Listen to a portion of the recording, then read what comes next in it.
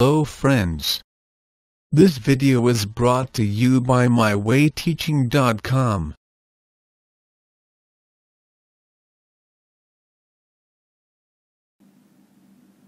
We have just now learned how to solve an equation and get a solution.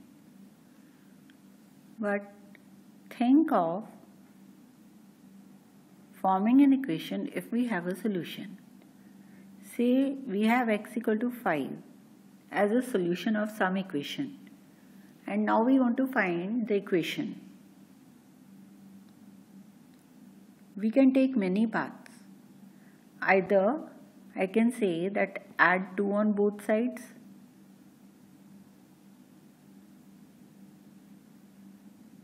Then the equation will become x plus 2 equal to 5 plus 2 and x plus 2 equal to 7 is the required equation whose solution was x equal to 5. But I can also form another equation by saying multiply by 4 on both sides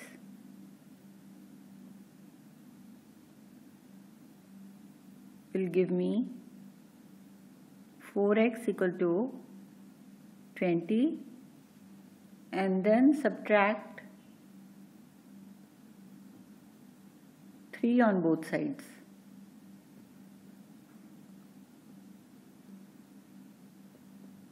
This gives us 4x minus 3 equal to 20 minus 3 that is 4x minus 3 equal to 17. That means if we have one solution we can form a number of equations but given a equation there can be only one solution so we state that when we solve an equation, we get only one solution. But if we have a solution, we can form a number of equations. Let us read the question. The sum of 3 times a number and 11 is 32. Find the number. To solve this question, let us start by assuming that let the number be x. Now the sum of 3 times the number. 3 times the number means 3x and 11 is equal to 32. So we have a equation from the condition that sum of 3 times a number plus 11 is 32. Now let us solve this equation. We get 3x equal to 32 minus 11. So 3x equal to 21. Now dividing by 3 on both sides. We will get 3x by 3 equal to 21 by 3 on solving we get x equal to 7 so x equal to 7 is the required number. Let us confirm it.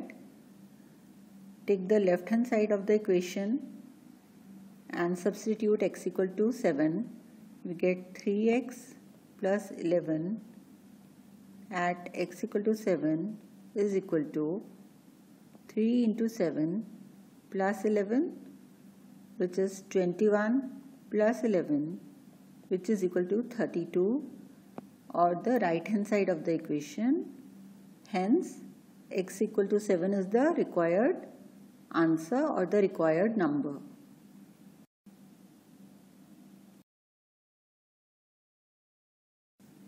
Let us read the question.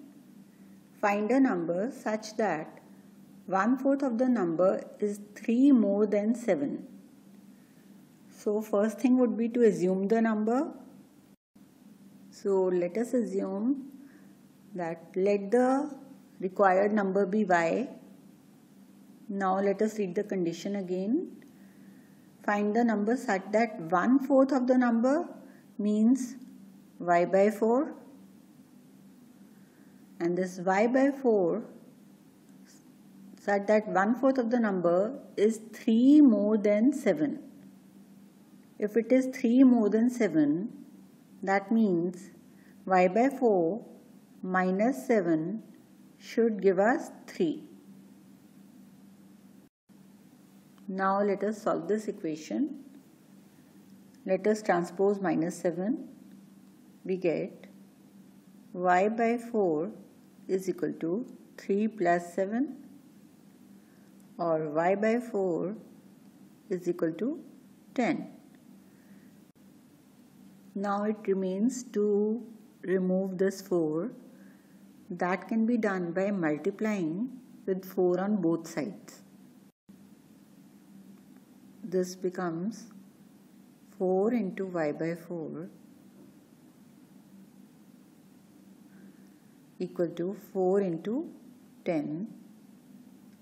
Solving further gives us y equal to 40. We can confirm our answer by putting y equal to 40 in the left hand side of the equation that is 40 by 4 minus 7 this will give us 10 minus 7 which is equal to 3 and which is same as the right hand side of the equation hence we have confirmed that y equal to 40 is the required answer.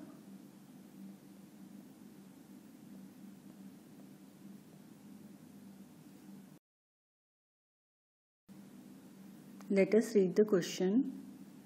Raju's father's age is 5 years more than 3 times Raju's age. Find Raju's age if his father is 44 years old we start by assuming that let Raju's age be x. Then Raju's father's age is 5 years more than 3 times Raju's age. That means 3 times Raju's age means 3 times x. And father's age is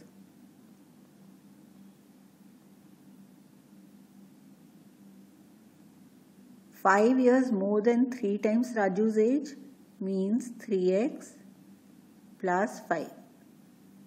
This was 3 times Raju's age. Also it is given that his father's age is 44. That means 3x plus 5 is given to be 44 now let us solve this equation to find Raju's age. Let us transpose this 5. We get 3x equal to 44 minus 5. 3x equal to 39.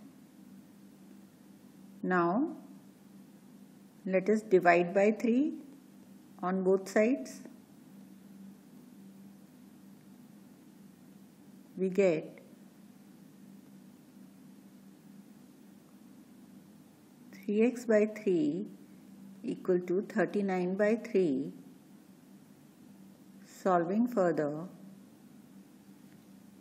gives us x equal to 13 or we can say that Raju's age is 13 years.